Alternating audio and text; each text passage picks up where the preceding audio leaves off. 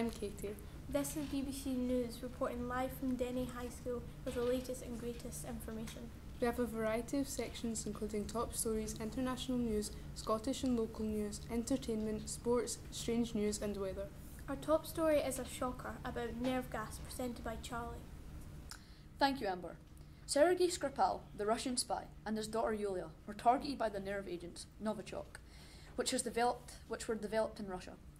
They were found nearby the Malting shopping centre. They both remain in a critical but stable condition. The first police officer on the scene was also administered the gas, and he also remains in a critical but stable condition. This has led the UK to administer a vaccination to all British troops against anthrax, the chemical that was used to poison Sergei and Yulia. This has become a, a political war between the UK and Moscow government. Recently, the Moscow government has announced they will soon expel every British diplomat. Sergei Lavrov had this to say to Russian media Expulsions will definitely happen. Now back to Kate and Amber, back in the studio. Thank you, Charlie. And now here is some horrific intel on Libyan migrants by Leah and Murray. Thank you, Katie. In recent news, the Libyan government has issued 205 arrest warrants for people who are suspected to be involved in smuggling migrants to Europe. Huge numbers of migrants have made it to Libya in attempts of making it to Europe. More than 90 people have drowned in the Mediterranean Sea, most of them Pakistani. On arrival to Italy, people were claimed to be as light as 35 kilograms and to be nothing but skin and bone. One man named Segen needed help to walk when he arrived as he was so weak and was immediately taken to hospital because of his condition. He died 12 hours after reaching Italy. According to the mayor of Pozzallo, he looked as if he had been in a concentration camp. Unfortunately, people saw this as an opportunity to make money and offered an easier way of transport for the migrants. Many people have been smuggling migrants into Libya to allow them to make it to Europe. The recently issued arrest warrants include accusations of human, human trafficking, torture, murder, and rape. And now over to James about the beast from the east. Other news is that the Beast from the East has caused people in Scotland to call 999 for inappropriate reasons. There have been multiple messages put up on social media about disruptions in daily life, and yet people are still asking about road and school closures. One person has called to ask the police if they could deliver bread to their doorstep because the shops ran out, and then another person asked if the police asked the police where the shop was, just so he could buy some cigarettes and alcohol. Chief Inspector Alan Gray says that calls like this are taking advices away from serious 999 calls. This could be risking someone's life who is in a life-threatening situation, and the advisors can't answer because they are occupied with other callers.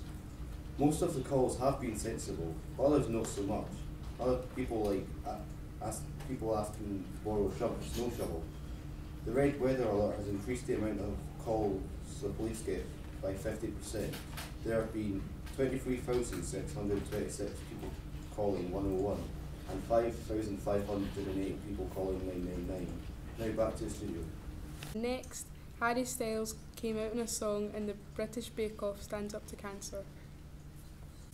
Harry Styles, former member of boy band One Direction, has allegedly come out as bisexual in one of his newest songs, Medicine. During his concert in Paris, Harry performed the song, though the crowd reckons the lyrics have a hidden message with lyrics such as, The boys and the girls here, I mess around with them and I'm okay with it. I'm coming down, I figured out I kinda like it, and when I sleep I'm gonna dream of how you tasted. His fans believe that he has hinted at his sexuality and that he could be bisexual. Does this mean that we should consider Harry as an idol to the LGBT community? In other news, a partnership between Cancer Research UK and Channel 4 is an annual fundraising campaign to advance the knowledge and cure to, canc- cu- cure to cancer. The aim of the charity is to develop new tests and treatment using the money raised.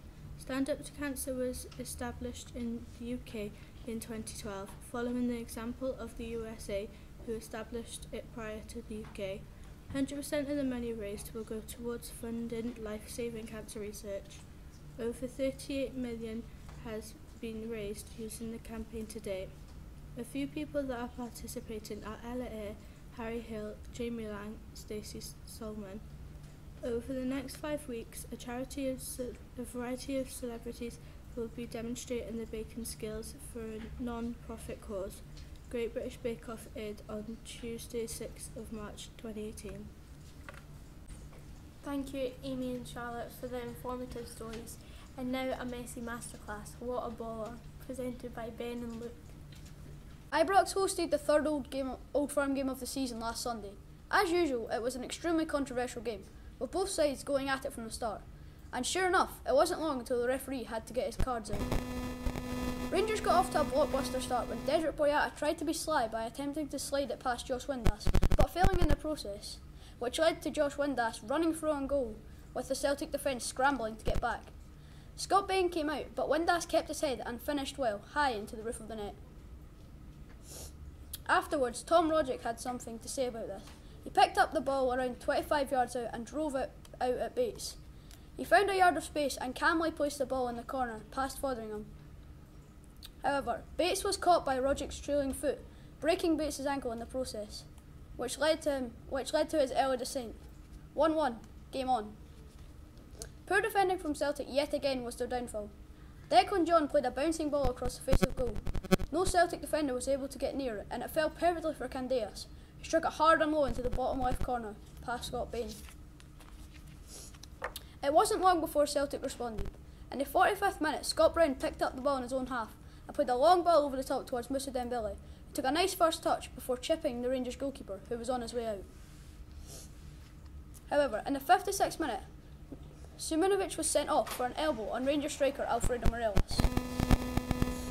Brendan Rodgers knew he needed to freshen things up. He decided to bring on Odsonne Edouard. Then in the 69th minute, just two minutes after he was subbed on, Odsonne Edouard picked up the ball at the edge of the box before cutting inside and smashing the ball into the top right corner to steal it for Celtic. The game ended 3 2 to Celtic and Olivier Ntcham was named man of the match. Now over to Ben for the match report on Celtic, not on Chelsea Barcelona. Barcelona faced Chelsea last night in a crucial Champions League round of 16 match. First leg ended 1 1 in a boring encounter at Stamford Bridge, with both teams not at the races on the night. However, the second leg was one to watch, with Messi bagging an early goal from a ridiculous angle, sliding it through the goalkeeper's legs within the third minute, leaving Chelsea with an uphill battle to get a goal back. Shortly after, in the 20th minute, Umtiti made a fantastic sliding block to stop Hazard's cracking left foot effort left footed effort. His clearance reached Chelsea's backline and immediately put them under pressure. Messi stole the ball from Fabregas and the counter was quickly on. He then glided past Azpilicueta and Zappacosta as if they weren't even there, slide, before sliding through a low ball to Ousmane Dembele, who took one touch before firing into the top left hand corner with his right foot, giving Courtois no chance and upping the score to two goals to nil. Just before half time, Marcos Alonso came agonisingly close from a set piece, clipping the top right hand post. Then, in the 63rd minute, Jordi Alba nicked the ball off of Azpilicueta, immediately starting the counter attack. Messi then makes an overlapping run down the left wing, past Suarez. He receives the ball and takes it by Cahill and Moses before once again nutmegging Courtois to seal his 100th Champions League goal and a fantastic brace, which put Chelsea's Champions League dreams to a halt for this season. Thanks, Ben and Luke. And next, a riveting story about the man from the year 4000 by Alyssa. A man claims that he is 132 years old and he is a time traveller from the year 4000. He says that he is 132 but only looks 25 because he's been injected with health since birth. He claims to have brought back pictures of the future, what cars will look like. These cars had the ability to hover with the use of propellers instead of wheels. He also claims that domestic animals such as cats and dogs will become extinct. He says that in the future robots will be doing human jobs, like the and they look like the robot from Fallout, Mr. Handy. Thank you, Alyssa. And finally, a weather report from Rachel. Hi, I'm Rachel, and this is the weather for today. Let's go take a look outside.